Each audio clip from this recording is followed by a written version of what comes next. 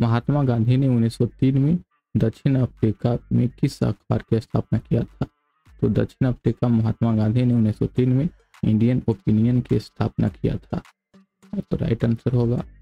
और 1903 में इसकी स्थापना किया गया था। इंडियन ओपिनियन 1903 में डरबन, दक्षिण अफ्रीका में महात्मा गांधी और एम एच नज़र द्वारा स्थापित एक महत्वपूर्ण समाचार पत्र था। यह नटाल भारतीय कांग्रेस का एक प्राथमिक संचार अंग था।